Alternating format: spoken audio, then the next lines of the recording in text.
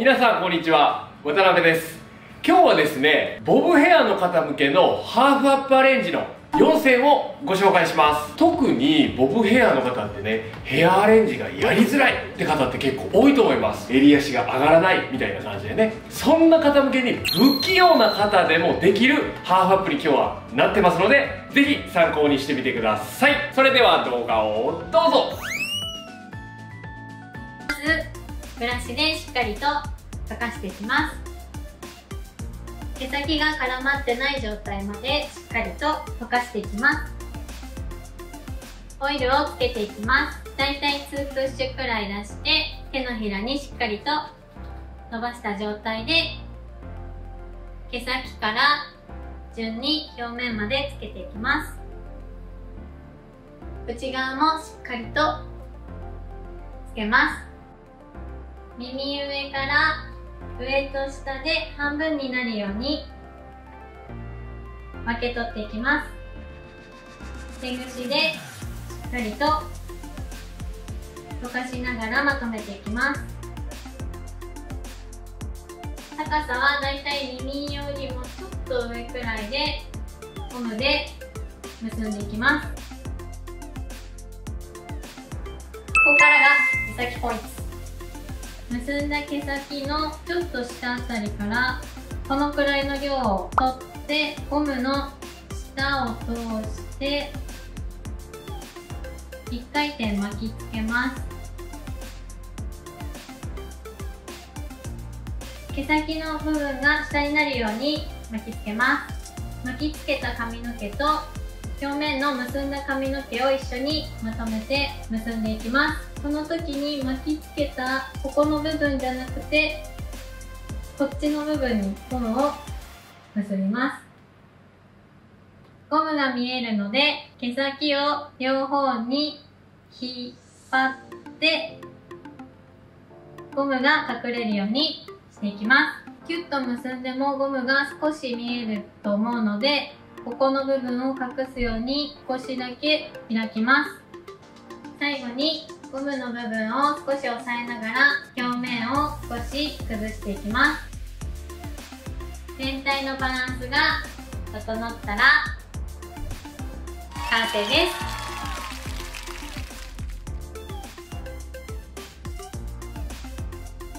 ングしていきます毛先から溶かしていくと髪の毛の絡まりがなくなるのでアレンジがしやすくなります。まずは髪の毛を上下に分けます。これがポイントです。上に分けた髪の毛を耳ラインに持ってきてゴムで留めます。ゴムが緩くならないように少し下に下げたら表面をボリューム出します。1cm 幅で髪の毛をつまんで引き出します下の髪の毛を半分に分けます2つに分けた髪の毛をゴムの上に持ってきてまとめます。ゴムで結びます。上と下で分かれてる状態です。今結んだゴムを1センチぐらい下にずらします。下にずらすとここに空洞ができるのでくるりんぱしやすくなります。くるりんぱします。通したら髪の毛を左右に引っ張ってキュッと締めます。この部分からゴムが見えるので下のゴムを少し下にずらします。くるりんぱしたところをほぐします。2箇所ぐらい左右ほぐしたらこれで完成です。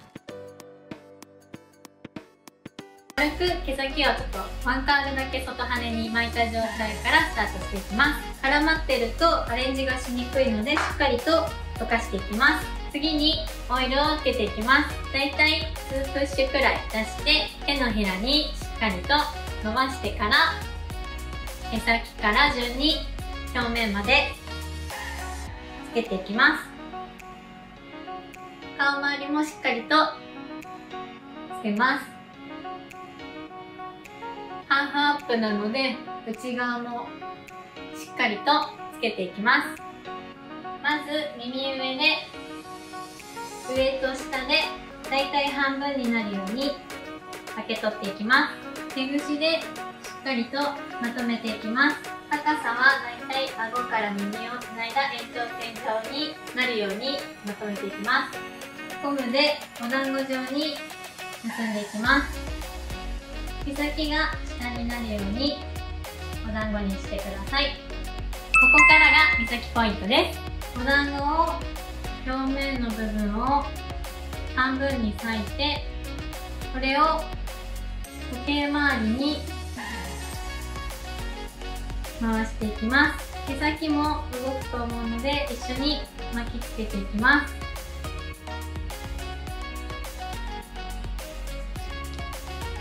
の上からカラーゴムでまとめていきます。こんな感じの形になります。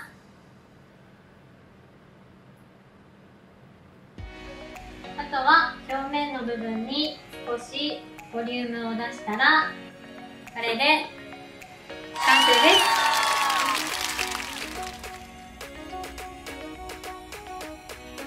今日使うのはゴムの方におすすめな 26mm のコテとシリコンゴム2本です。それではベースを巻いていきます。コテの温度はコテの一番下の温度に設定して先を巻きます。耳より前の髪の毛をまとめて一羽にします。反対側も同じように耳より前の髪の毛を一羽にします。後ろは半分に分け取って右は右でまとめて一羽にします。左もまとめて一羽にします。最後は真ん中を取って割れ目ができないように真ん中も一緒に一羽にします。やっぱり乾燥も気になるのでモロッカオイルもつけていきます。オイルを2プッシュ出します。オイルは手を全体になじませて毛先内側表面の髪の毛とアホ毛と前髪にもしっかりつけます。まず表面の髪の毛を取ります。だいたいこのぐらいの位置で後ろでまとめます。シリコンゴムで結びます。引き出していきます。結んだゴムを片手で持って1センチ幅を引き出したら指2本開けて引き出していきます。耳より前の髪の毛を上げて後ろの結んだゴムの位置まで持っていったらシリコンゴムで1本にまとめます。これが2つになってる状態です。上のゴムを少し下にずらして指2本をこのゴムの下から通します。そしたら手をくるっとひねってこの下の最初に結んだ部分を輪っかに通します。下の髪の毛のゴムを薄く縛ったら上の髪の毛を下ろしていきます。細かい髪の毛や引っかかってる髪の毛があるので最後手節で整えてこれで完成です。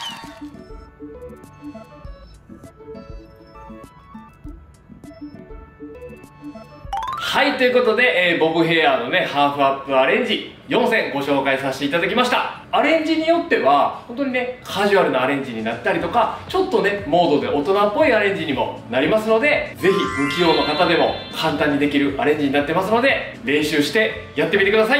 今日も最後まで見ていただいてありがとうございました。今後もね皆さんが綺麗で可愛くなれるような動画を作っていきたいと思いますので今後ともよろしくお願いします。この動画が良かったらグッドボタンとチャンネル登録とベルマークもよろしくお願いします。それではまた次回の動画でお会いしましょう。